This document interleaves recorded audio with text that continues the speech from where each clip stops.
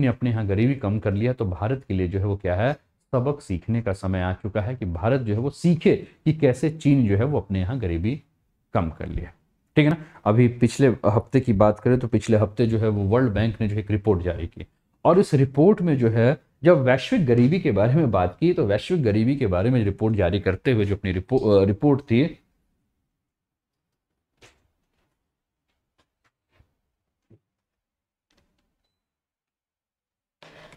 तो इस रिपोर्ट में जो है, वो चीन ने उसमें क्या कहा गया कि देखिए, विश्व में जो है वो महामारी चल रही है। माफ़ कीजिएगा, विश्व में जो है वो क्या है, आपका यूक्रेन का संकट जो है वो देखने को मिल रहा है। ठीक है? कोविड का संकट देखने को मिल रहा है। ठीक है? तो एक तरफ़ हम युद्ध देख रहे थे, उसके पहले हमने कोविड को देखा था। ठीक है? उसके बाद भी हम क्या देख रहे हैं कि विश्व में जो है, गरीबी का जो नया आंकड़ा आया है, वो जस्ट चीन का जो है उल्टा है ठीक है ना? चीन ने क्या किया है? इस कोविड के समय भी हमने देखा, या युद्ध का आपका जो कंडीशन बना हुआ है विश्व में, उसमें भी हमने देखा कि अपने यहाँ की गरीबी को जो है खत्म कर दिया। मतलब जो रिपोर्ट आई, वो रिपोर्ट ये आनी चाहिए थी कि गरीबी बढ़ गई है या समस्या जो है वो बढ़ गई है, लेकिन उल्टा रिपोर्ट आया। ठीक है ना? कि गरीबी जो है वो क्या हो गई है? चीन में कम हो गई है। अब भारत को जो है, चीन से सीखने की आवश्यकता है कि चीन ने कैसे अपने यहाँ की गरीबी को जो है वो कम किया है। ऐसा। अब गरीबी क्या है? गरीबी को कैसे परिभाषित किया जा सकता है? तो दोस्तों, गरीबी को परिभाषित करने के लिए जो वर्ल्ड बैंक ने आंकड़े दिए वो आंकड़े क्या दिए हैं कि प्रतिदिन कोई व्यक्ति 2.15 अमेरिकी डॉलर, ठीक है ना, से ऊपर कमाता है तो व्यक्ति गरीब नहीं, ठीक है ना? अगर उससे कम कमाता है, कितना?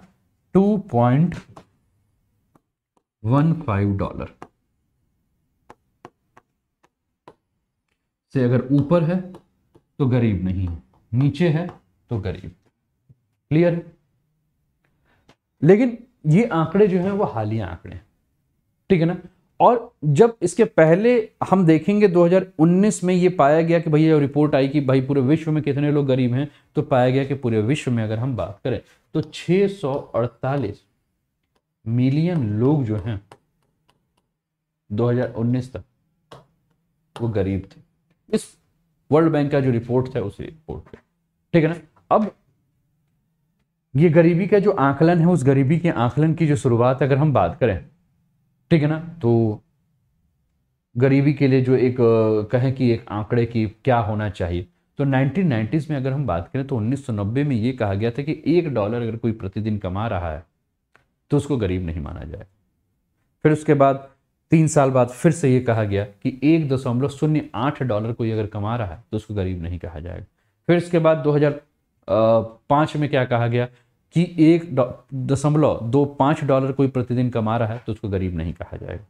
फिर 2011 में क्या कहा गया कि एक दशमलव नौ शून्य डॉलर कोई प्रतिदिन कमा रहा है तो उसको गरीब नहीं कहा जाएगा। फिर क्या कहा गया 2017 में कि दो दशमलव एक पाँच डॉलर कोई कमा रहा है तो उसको गरीब नहीं कहा जाएगा। और यही 2017 के आंकड़े के हिसाब से जो ये आंकड़ा निकाला गया, जिसमें ये कहा गया कि चाइना जो है, उस, वो अब गरीबी वहाँ से खराब हो अब विश्व बैंक ने भारत को जो है, गरीबी के स्तर में भारत के बारे में क्या कहा है? तो विश्व बैंक ने कहा है कि भारत वो देश है जहाँ दुनिया के सबसे अधिक गरीब लोग रहते हैं। मुझे तो जनसंख्या जो सबसे ज़्यादा है तो होगा ही। है ना? तो भारत क्या है? भारत वो देश है जहाँ दुनिया के सबसे ज़्यादा गरीब लोग रहते हैं और भारत में 2020 का जो आंकड़ा है, उस आंकड़े के हिसाब से अगर हम बात करें तो कहा जा रहा है कि भारत में पाँच करोड़ लोग जो हैं वो गरीब हैं। ठीक है ना? अब फिर प्रश्न ये उठता है कि सर, चीन ने ऐसा रातों रात क्या कर दिया कि वहाँ से गरीबी जो है वो गायब हो गई? तो विश्व बैंक ने ये पाया है कि 1978 से लेकर 2019 तक जो चीन का पूरा का पूरे अर्थव्यवस्था को बड़े जब ध्यान से देख रहा है तो ये पाया जा रहा है कि लगभग चीन ने इन 40 वर्षों में अगर हम बात करें तो अपने यहाँ के लगभग साढ़े छिहत्तर करोड़ लोगों को, जो कि गरीबी रेखा के नीचे थे, उनकी स्थिति को जो है वो ठीक किया है, उनके आय के साचन ठीक है ना? और 2021 में चीन ने जो घोषणा की थी कि उसने क्या कहा था कि हमने अपने यहाँ के सबसे ज़्यादा गरीबी लोगों को, गरीब लोगों को जो है, वो गरीबी से जो है, वो क्या कर दिया है, बाहर कर दिया है, लगभग साढ़े छिहत्तर करोड़ लोगों को। ठीक है ना?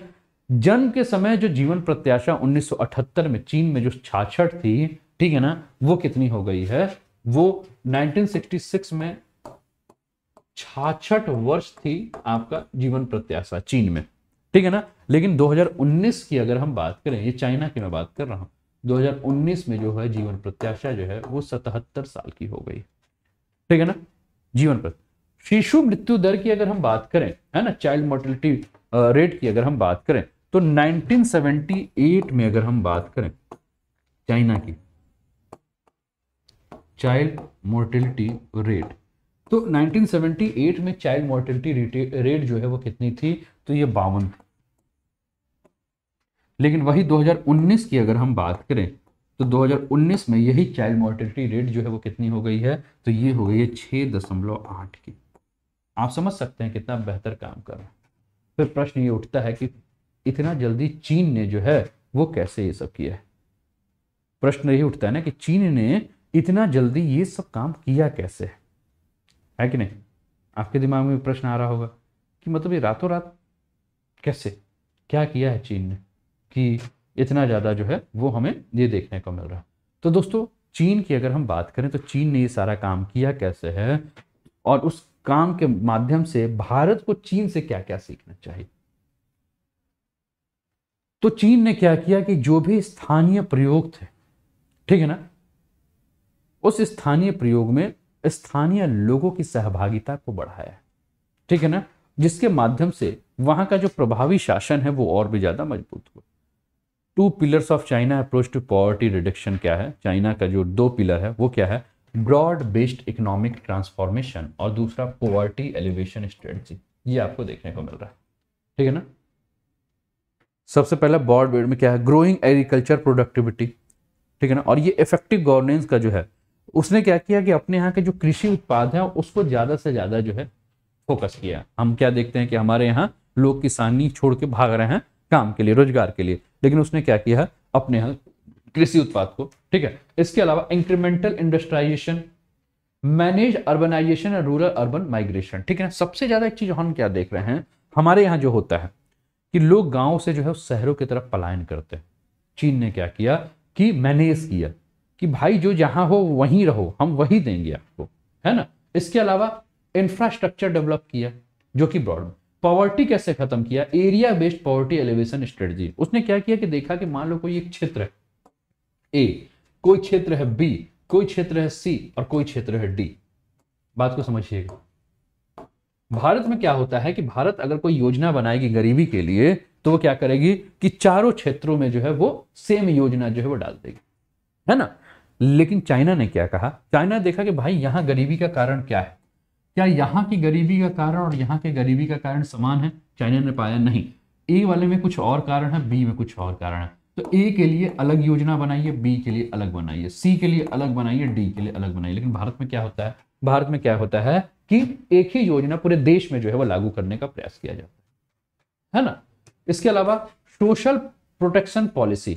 देखिए, समाज में जब तक आप अपने को सुरक्षित नहीं महसूस करेंगे, तब तक जो है वो आप कोई काम, रिस्क लेने से डरेंगे। तो सोशल स्टेटस। इसके अलावा टारगेटेड पॉवर्टी एलिवेशन स्ट्रेटजी। अब इसने क्या किया कि देखा कि गरीब जो है, एक तो पहले एरिया से गरीबी को हटाइए, पहले उस एरिया को पकड़िए जहाँ से गरीबी को हटाना है, फिर उस व्यक्ति को पकड़िए जिसको गरीब से बाहर निकाल, गरीबी से जो है वो बाहर निकालना है, ठीक है? तो इन सारे चीज़ों के ऊपर जो है वो चाइना ने जो है वो पूरा का पूरा जो है वो काम किया। ठीक है ना? शिक्षा और स्वास्थ्य के क्षेत्र में। अब ये कैसे किया जा सकता है? तो इसके लिए करने के लिए क्या है कि स्थानीय सरकारों के बीच में जो है वो क्या हो?